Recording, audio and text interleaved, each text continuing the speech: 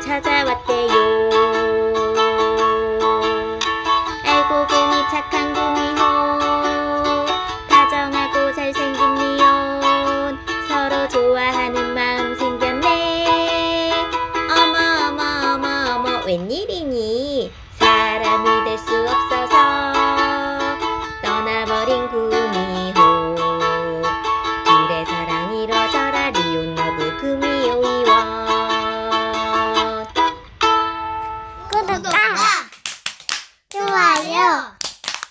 마시냐